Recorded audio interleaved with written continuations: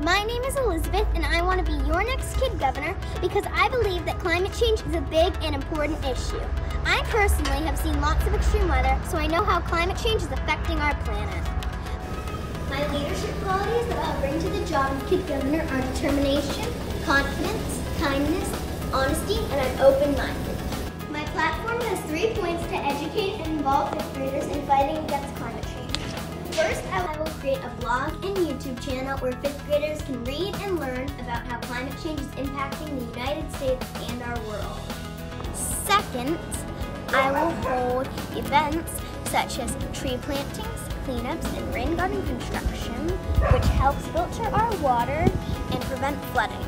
I will hold a poster contest and letter writing campaign to write our elected officials and urge them to take action on climate change. Is a vote for the earth.